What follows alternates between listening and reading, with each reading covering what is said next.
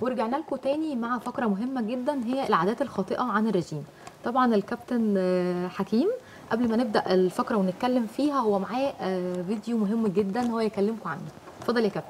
إحنا طبعا أنا جاي من من التيك توك زي ما أنتم عارفين وأغلب متابعيني موجودين على التيك توك. فاحنا كان في ناس كده يعني قالوا إن هم عايزين يعملوا حملة عشان بس نظبط قصة الناس بتنشر إيه. لأن الناس بقت بتنشر حاجات غريبة وده بيعكس بيعكس فكرة سلبية جدا عن المجتمع بتاعنا وإحنا مش كده. آه، فكان في حد كده تبنى إن هو يعمل حملة ضد آه، ال- المنشورات المسيئة ديت أو المنشورات اللي هي اللي مش صح. وكانت الحملة بعنوان آه، فكر قبل ما تنشر. مؤسس الحملة وصاحب فكرتها هو أستاذ شادي عبد العليم. أنا أحب أشكره طبعا من مكاني ده. آه، ولازم نتفرج على الفيديو كده مع بعض وإن شاء الله يا رب يعجبكم. ونحاول برضو الناس تتفرج على الفيديو يبقى هو ده هدفنا إن إحنا ننشر الصح ونحاول نعكس صورة المجتمع بشكل أفضل. يلا نشوف الفيديو. نشوف الفيديو.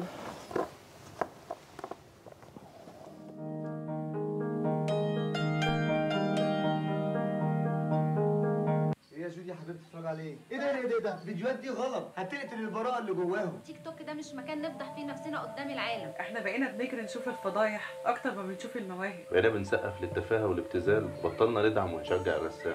فضحتوا بيوتكم وكشفتوا عوراتكم أنتوا عارفين في كام مليون واحد بيشوف فضايحنا. عمر ما كان العري والفضايح هما المصدر الوحيد للشهرة والفلوس. إحنا دلوقتي بقينا على تيك توك بنفتخر إن جرجس بيشتم في محمد ومحمد بيرد في جرجس نفس الشتيمة. ما هي طول عمرها مصر كنيسة جنب جامع. مع إننا كنا زمان أم جرجس تدي لأم محمد طبق مليان فاكهة وأم محمد ترجعه لام جرجس بطبق مليان كحك. مصر مليانة مواهب طاقات حقيقية ومش لاقيين مكان يفرغوا فيه طاقتهم غير التيك توك.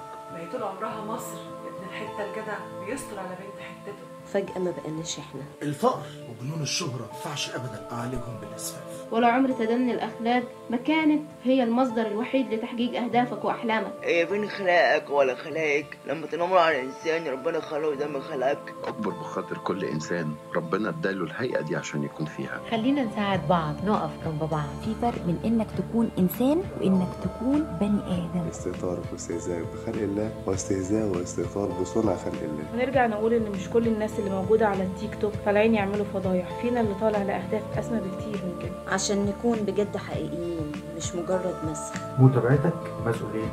ولازم كلنا نكون إيجابيين ولازم نبرز الحلو على التيك توك. في حاجة في ودني ها؟ ورجعنا لكم تاني؟ ورجعنا لكم تاني مع الفقرة بقى. الأسباب الخاطئة. أو ال- إيه العادات الخاطئة. المهم بس الناس تكون شافت الفيديو ونحاول يعني نعمل بيه. ده مهم جدا بالنسبة لي علشان خاطر نقدر يعني, يعني ننشر التوعية بشكل كويس يعني. معانا تليفون؟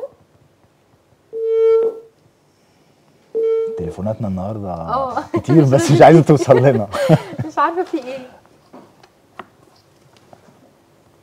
تمام خلاص نتكلم عن العادات الخطأ. نتكلم عن. العادات الخاطئة عقبال بقى ما الناس ترجع تاني. هنتكلم عن العادات الخاطئه لحد ما ربنا يكرمكم كده وتوصلوا لنا بالاتصالات بتاعتكم مش عايزة تيجي دي. آه، أول عادة بنعملها غلط وهي آه، مواعيد الوجبات بتاعتنا. يعني نح... بص هو في النهاية الطبيعي إن السعرات اللي إحنا بناكلها هي الأساس. كلناها الصبح كلناها بالليل مش هتفرق. بس برضو أنا بحاول إن أنا آه، أخلي مواعيد الوجبات بتاعتي قريبة من بعض علشان أبقى دايما حاسس إن أنا تمام ما أبقاش يعني ال- الرجيم مش حرمان الرجيم مش جوع. عشان أنا ما أحسش بالجوع ده أحاول أقسم وجباتي على مدار اليوم.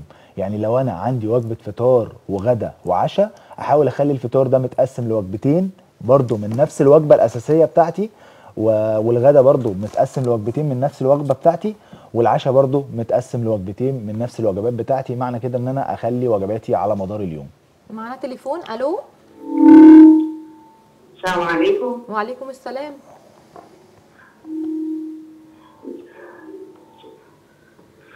صباح الخير يا أنسة راني صباح النور يا حبيبتي. منورة الشاشة والله. الله يخليكي ميرسي قوي.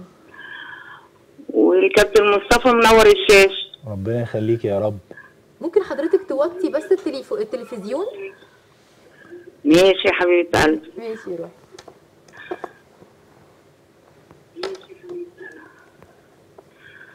أنا بس عايزة أسأله سؤال اتفضلي. بعد إذن حضرتك. اتفضلي. أنا ساعات بقعد طول النهار كده من غير أكل وباجي على العصر كده أو المغرب آكل. وبضطر طبعا بالليل آكل تاني. تمام. فانا مش عارفة وجسمي مش عايز ينزل برضو يعني طبعا الأكلات مش مظبوطة. نفسي نفسي جسمي ينزل وكده مش عارفة. تمام تمام. شكرا يا حبيبتي وهنرد عليكي حالا. تمام آه، نرد على السؤال. سؤال مهم جدا. ما هو دي مشكلة الناس. مم. إحنا وجبة الفطار دي مهمة جدا يا جماعة. يعني وجبة الفطار دي من أهم الوجبات. ما ينفعش وجبة الفطار بتاعتي تبقى العصر أو المغرب يعني. الفطار ده المفروض يكون الصبح عشان يديني نشاط ويخلي يومي يبتدي صح. فوجبة الفطار مهمة تمام؟ آه، أحاول أخلي يومي فيه أكتر من وجبة. مش لازم يكونوا وجبات بشكل كبير. ما هو ده اللي أنا كنت لسه بتكلم فيه. مش لازم أخلي وجباتي دي تكون كمياتها كبيرة جدا. لا أحاول أخلي كميات صغيرة تمام؟ بس متوزعة على مدار اليوم. علشان أنا أساعد جسمي إن عمليات الهضم وعملية ال- الهضم فيه تبقى مستمرة ما يبقاش عندي إمساك أو عندي عسر هضم. أساعد جسمي إن عملية الحرق فيه تبقى مستمرة ما يبقاش عندي مشكلة. فنحاول على قد ما نقدر نصحى من النوم نصحى من النوم زي ما قلنا قبل كده وهنقول نشرب مية عادي خالص. آه، نحاول نعمل أي مجهود أي مجهود ولو بسيط نحاول نعمل مجهود والمجهود ده هيخلينا نب- نبقى عايزين ناكل. يعني في ناس تقول لك أنا بصحى من النوم مش بيبقى ليا نفس للأكل مش قادر أفطر. ما هو أنت مش قادر تفطر عشان أنت ما فيش حاجة عملتها. ما أنت صاحي من النوم آه، يعني صاحي وما بتعملش أي مجهود ما بتعملش أي حركة. لا حاول تعمل مجهود ولو بسيط هيخلي جسمك محتاج للأكل. هيخليك عايز تاكل هيخليك تجوع شوية فبالتالي هتفطر. وتفطر فطار يكون صح. دايما في وجباتنا نعتمد على البروتين والخضروات بشكل كبير. يعني نعتمد على ال- العنصرين دول يكونوا هم أكتر حاجة موجودة على الأكل وأي حاجة بعد كده بقى تبقى أجزاء صغيرة ما تبقاش كتير. لأن اللي بعد البروتين والخضار هو اللي بيزود الوزن بشكل كبير. فنحاول نعتمد على ده على مدار يومنا. الصبح قلنا في الأكل هناكل إيه؟ زي ما اتكلمنا في أكتر من حلقة عندنا البيض عندنا الجبنة القريش عندنا الحليب عندنا الشوفان عندنا الفول. كل دي حاجات نقدر ناكلها الصبح عادي خالص نحاول نبعد عن السكر. على قد ما نقدر السكر مش مش مش صحي ومش مفيد فنحاول على قد ما نقدر نبعد عن السكر. وجبات الغداء بتاعتنا نحاول الدهون ما تبقاش بشكل كبير في الأكل. أنا أقدر أعمل طاجن آه، بامية زي الناس كلها بتحب الطواجن. يعني أقدر أعمل الطاجن ده من غير دهون لأن اللحمة أصلا بتنزل دهون. فأنا أقدر أعمل طاجن من غير بقى ما أحط أنا كمان دهون على الدهون اللي موجودة فده بيأثر عليا بشكل كبير. الأكل لو أنا نظمته ووزعته على مدار اليوم الأكل لو أنا خرجت منه السكر على مدار اليوم الأكل لو أنا خرجت منه الدهون الغير صحية على مدار اليوم جسمي هيبقى في صحه أحسن. حتى لو أنا مش عايز أخسر وزن لأ أنا هبقى جسمي شكله كويس ومش هيبقى في عندي مشاكل صحية مش هيبقى عندي آه، مشاكل في الشرايين ولا مشاكل في القلب مش هيبقى عندي سكر مش هيبقى عندي ضغط مش هيبقى عندي كوليسترول في الدم. كل ده أمراض بتجيلنا بسبب الأكل اللي إحنا بندخله جسمنا. الأمراض دي ما ما بتجيلكش كده. الأمراض دي بتجيلك بسبب إن أنت بتدخل جسمك أكل بشكل مش صح. فنحاول نظبط موضوع الأكل دوت بس على مدار اليوم. ماشي. في حد بقى بيقول عملت عملية تدبيس معدة وفعلا خسيت لكن بعدها بسنتين رجعت آكل وتخنت تاني. إيه الحل؟ ماشي ما هو إيه الحل؟ ما الحل انت عندها برضو فاهمة؟ ما انت قلتي أهو رجعت آكل وتخنت تاني. ما هو. رجعتي تاكلي معنى كده إن انت هتزيدي. ما هو ده طبيعي. آه، أجسامنا كل ما هن... كل ما هندخل فيها أكل زيادة كل ما ده هيخليها تكسب وزن. دي هي حاجة ممكن بديهية. تكون افتكرت بقى إن هي خلاص عشان عملت العملية لا. فالعملية لا. ما هو ملوش. علاقة. ما العملية نجحت دي لأن هي كده كده هتنجح. يعني العملية هتنجح. تمام؟ العملية هتنجح وهنخسر وزن في وقت العملية لأن انت في البداية ما بتبقيش قادرة تاكلي. زي ما إحنا كلنا عارفين عمليات التكميم في البداية ب- بنعتمد فيها على سوائل مدة كبيرة جدا وانت نفسك اللي بيبقى عامل العملية ما بيبقاش قادر ياكل. أنا أنا كان عندي ناس متابعة معايا حالات آه، وراحوا عملوا العمليات دي ورجعوا قالوا لي يا ريتنا ما فكرنا أصلا إن إحنا نروح نعمل عملية زي دي. لأن أنا ب... يعني في حد كان بيقول أنا مش قادر يعني مش قادر آكل أنا مش قادر البيض العادي ده أنا مش قادر أبلعه مش قادر آكل خالص. فده ليه؟ ليه أنا أحط نفسي في الحتة دي؟ يعني ليه أنا أحط نفسي في إن أنا الأكل قدامي مش عارف طب ما أنا هاكل من نفس الأكل ده بس كمية قليلة هاكل من نفس الأكل ده بس هاخد الصحي منه وهبقى مش محروم من حاجة وهبقى مش جعان برضه وهخس وجسمي يبقى حلو وألعب رياضة. وأشد جسمي. تمام. طيب في حد بيقول كابتن في واحدة قالت لي أشرب شاي رويال بتاع التخسيس شربته وخسيت جدا بالفعل وسبب ليا إسهال مزمن لدرجة إني بقيت مش بعرف أدخل التواليت غير عن طريق عن طريقه. إيه الحل؟ طريق طبعا. دي كده ما طبعا ده اللي اتدمرت. معدتها طبعا باظت. ما ده اللي إحنا مش مش قصه معدتها باظت. ده اللي إحنا اتكلمنا فيه. يعني ده اللي إحنا اتكلمنا فيه لو تفتكروا الحلقة بتاعه منتجات التخسيس. ده اللي إحنا اتكلمنا فيه. في حاجات مسهلة للمعدة. من ضمنهم الشاي ده. خلى المعدة تعتمد عليه هو انها عشان تدخل الحمام يعني ما خلاص. آه. آه المواد الهضمية اللي موجودة في في معدتها آه الشاي ده بيوقف عملها شوية وهو يبقى هو ال- المسؤول عن عملي- عن عمليات الهضم بتاعتها. فبالتالي أنا مش ه... هي... تبطل الشاي يبقى عندها عسر هضم وعندها إمساك ومش قادرة تدخل الحمام فلازم تاخد الشاي عشان تدخل الحمام. ليه؟ ليه أوصل نفسي كده؟ يعني ليه أحط نفسي في الحتة دي؟ ليه أوصل نفسي ان أنا أبقى عايش بأدوية وأبقى عايش بشرب حاجة عشان تدخلني الحمام؟ ليه؟ يعني ليه؟ ليه؟ ما أنا أقدر آكل أكل والله لو كلنا الأكل الصحي ولو خدنا الفيتامينات المناسبة لينا ولو آه، شربنا المية بتاعتنا على مدار اليوم بشكل كويس كل الحاجات دي مش هنبقى محطوطين فيها. كل الحاجات دي مش هن مش هنلجأ إن إحنا يبقى عندنا مشكلة. يعني مش هنلجأ لحاجة عشان إحنا عندنا مشكلة.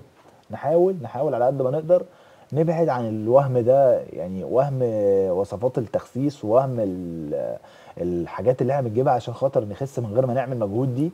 والله والله مش مش صح مش صح مش مش دايما صح. يعني في منها حاجات أكيد هتبقى كويسة بس مش دايما بيبقى صح. الأغلبية منها زي ما إحنا شايفين كده في السؤال بتاعنا. يعني هي يا كابتن لو بطلته هترجع تاني عادي؟ هي لازم مفيش- تبطل وهي في البداية هتبطل فهتحس بعسر هضم هتحس إنها مش قادرة تدخل التويليت مم. فتحاول على قد ما تقدر إنها تتحمل ده شوية وتاكل كويس وتشرب مية على مدار اليوم بشكل كويس علشان خاطر ترجع المعدة تاني إنها تشتغل بشكل طبيعي وتعتمد على نفسها وعلى المواد الحمضية اللي موجودة فيها لعمليات الهضم. طيب في حد تاني بيقول عملت آه لا كابتن أنا بلعب سباحة وعاملة دايت وكل حاجة وفعلا خسيت لكن حاليا وزني ثابت وخايفة جدا أرجع تاني. تلعب سباحة وعاملة دايت وزنها ثابت وخايفة خايفة ترجع تاني تتخن بقى يعني ترجع يزيد يعني. آه. بس هو مبدئيا انت طول ما انت في ال- في الرياضة يعني طول ما انت شغاله في الرياضة الوزن مش هيرجع تاني لأن انت وانت بتلعبي رياضة بتاكلي بشكل معين فبالتالي وزنك مش هيزيد. وزنك هيزيد لما هتاكلي. بنفس قيمة الأكل اللي انت بتاكليها وانت كنت بتلعبي رياضة وانت قاعدة ما بتعمليش مجهود فطبيعي وزنك هيزيد. دايما السعرات اللي داخلة قصاد ال- ال- السعرات اللي أنا حرقتها الموضوع بيكون معتدل شوية والجسم بيحافظ على شكله. لكن أنا بدخل سعرات حرارية كتير وما بحرقش قصادها سعرات حرارية فبالتالي خلاص أنا مخزون السعرات الحرارية عمال يزيد يوم بعد يوم فبالتالي الجسم عمال يكسب دهون يوم بعد يوم هكسب دهون بشكل كبير في وقت صغير ومش ه... واما أجي اخسرها هقعد وقت كبير جدا عشان اخسرها فاحاول احافظ على نفسي من بدري احاول احافظ على نفسي من. من أول لما أنا يعني أنا وقفت إن أنا آه، ألعب رياضة أحاول برضو إيه أحافظ على قيمة الوجبات بتاعتي قصاد المجهود اللي أنا بعمله طيب آه، كابتن في حد بيقول لو سمحت يا كابتن عندي خشونة في الركبة ووزني زايد جدا وعايزة تمرين سهل أعمله ونفسي أخس تمرين طبعا دي. يعني غصب عنها عشان هي عندها خشونة في الركبة ماشي تمام. ما هو أنا أنا عندي خشونة في الركبة أو عندي أي مشكلة في المفاصل عموما في أي مكان في جسمي تمام؟ ووزني زايد. المشاكل دي حصلت منين؟ المشاكل دي أصلا حصلت عشان أنا وزني زايد. فبالتالي أنا لو رحت عملت تمارين على الوزن الزايد ده هأثر على المفاصل دي بشكل أكبر. لأن أنا أنا ما بعملش مجهود خالص والمشي العادي وطلوع السلم العادي والحركة العادية خالص على مدار اليوم في البيت عاملة لي مشاكل. في الركبة وعاملة لي مشاكل في المفاصل عموما. فأمال لما هعمل مجهود زيادة؟ وأمال لما هجري؟ وأمال لما همشي تاني؟ إيه اللي هيحصل؟ طبعا المضاعفات هتبقى أزيد. طبعا التعب هيبقى أكبر. فأنا اعمل إيه؟ لازم ألجأ إن أنا أخس الأول بالأكل والشرب. لازم أقلل سعراتي الحرارية وأبدأ أتعامل وأنا في البيت إن أنا آه، أنزل وزني لدرجة معينة وبعد كده أبدأ أروح أتمرن. بعد كده أما ألاقي إن أنا عملت الدايت بتاعي شهر اتنين تلاتة والحرق بتاعي بدأ يقل أو بدأ يقف خالص بقيت بعمل نفس العادات اللي أنا بعملها وباكل نفس الأكل بس برضو الحرق بتاعي مش شغال أحاول بقى أدخل وقتها المجهود أكون خسرت وزن بشكل كويس علشان خاطر مفاصلي ما تتأثرش بشكل أكبر. فأخسر وزن الأول وبعد كده أفكر في التمارين. التمارين اللي هنعملها إيه بالنسبة للناس اللي عندها خشونة ركبة؟ كبداية هنمشي. المشي العادي خالص مشي من غير جري ومن غير أي زيادة مشي عادي خالص. هنعمل المشي دوت ساعة في اليوم هيبقى مفيد جدا لينا بس برضو بعد الدايت اللي إحنا عملناه. ما ينفعش إن أنا أعمل المشي ده حتى وأنا في نفس الوزن الكبير اللي أنا فيه اللي كان عامل لي الخشونة دي. فهنعمل المشي. مع الوقت خسرت وزن زيادة حسيت إن أنا الركب عندي بدأت تمام مفيش مشكلة آه هروح مدخل اجري شوية. كل شوية أزود حاجة على حسب حالتي الصحية. كل شوية أزود حاجة على حسب حالة المفاصل بتاعتي. بس. في حد بيقول أنتوا بتتكلموا عن الناس اللي هي عايزة تخس كلمونا بقى شوية عن الناس اللي عايزة تتخن. الناس اللي عايزة تزيد. آه. تمام. إحنا اتكلمنا عن الناس اللي عايزة تزيد في المكملات الغذائية في الفقرة الأولانية بتاعتنا. لما قلنا إن الناس اللي عايزة تزيد تقدر تاخد مكملات ال gainers بشكل كبير لأن سعراتها الحرارية عالية. ليه قلنا ناخد مكملات ال gainers؟ علشان السعرات عالية فيها. السعرات العالية ديت أنا أقدر آخدها من الأكل العادي يا كوتش؟ آه أقدر آخدها من الأكل عادي عادي خالص. أقدر أدخل آه، سعرات حرارية أكبر من من اللي أنا باكلها في العادي بتاعي. آه، هدخلها منين؟ أدخلها من النشويات آه، مكرونة رز آه، مخبوزات. آه، هدخلها من البروتين طبعا أساسي عشان أنا لو عايز أبني جسمي هيبقى لازم بروتين عشان يبني لي ألياف عضلية فراخ لحمة سمك بيض منتجات ألبان جبن. آه، هدخلها من الدهون الصحية اللي موجودة في زبدة فول سوداني موجودة في مكسرات موجودة في زيت زيتون موجودة في في السمن البلدي بس اللي هو ال- اللي بيبقى جاي كده في يعني إحنا عندنا في مصر السمنة بتبقى جاية قوالب بيضة كده قوالب كبيرة بنبدأ نسيحها وبعد كده نبدأ نستخدمها. عملية التسييح اللي إحنا عملناها دي إحنا خلاص حولناها من سمنة مفيدة لسمنة مضرة يعني هدرجناها من الآخر. دخلناها بقت دهون مهدرجة. لا أنا مش عايز أعمل ده. أنا هي زي ما هي كده هاخد منها وأبدأ آكل. يعني هاخد منها وأحطها في اكلي عادي خالص مش هتأثر عليا. برضو داخل قيمة ال- ال macros بتاع ال fat اللي أنا عايزه الدهون الصحية اللي داخلة في يومي. لو أنا آه، خدت الحاجات دي على مدار اليوم في الأكل بتاعي وزعت وجباتي كده على مدار اليوم بشكل كبير وكلت كميات أكل تكفي إن أنا أزود وزني سعرات حرارية أعلى طبيعي جدا إن أنا هزيد. مش قادر أعمل ده يبقى أنا لازم ألجأ لمكمل من مكملات ال gainers. عم- أخدت مكمل مكملات ال gainers يبقى أروح برضو أتمرن. أحاول إن أنا أتمرن عشان أبني ألياف عضلية. جسمي مش عايز يزيد فبالتالي هعمل عليه ضغط أو stress على الألياف عشان تتبني مع الأكل ومع اللي إحنا قلناه كله. طيب في حد بيقول هو كان عنده انيميا فهو بقى عايز يعني مكملات مثلا غذائية أو حاجة عشان ترفع له الأنيميا دي أو ما هو الحديد. الحديد بالظبط ياكل إيه بقى يعني؟ ما إحنا أنيميا مشكلتنا في الحديد. البلح الأسود. تمام؟ آه، أيوه بجد هي أيوة معروفة. تمام. أول ما حد يقول لك أنا عندي هات بلح في- في أسود اللي خضروات كتير. خضروات أغلب الخضروات عنصر الحديد موجود فيها. أغلب منتجات اللحوم عنصر الحديد موجود فيها. نحاول العسل الأسود. الأكل والعسل الأسود عنصر الحديد موجود فيه. يعني لو أنا بقى خلاص مش قادر باكل كل الحاجات وبرضه عندي مشكلة ففي مكملات طبعا الدكتور بيبقى كاتبها علشان خاطر تكمل آه، معانا عنصر الحديد عشان خاطر معدن الحديد عشان خاطر الأنيميا دي تخ- تختفي أو تروح. طب نظام غذائي بقى ليه؟ يعني فطار إيه غدا إيه؟ هما بيقولوا لي على فكرة في ودني. هو في حد جوه بيقول لي ف... نظام مش غذائي سؤالي خالص. بصي هو طبعا نظام غذائي ليه ده زي ما أنا رديت في فيديو قبل كده. هو اللي إحنا بنقوله ده عموما لكل الناس. الأكل اللي إحنا قلناه قبل كده اللي هو إن إحنا ناكل منتجات ألبان زي إيه وقلنا بروتين زي إيه آه الكربوهيدرات زي إيه كل ده حاجات عموما.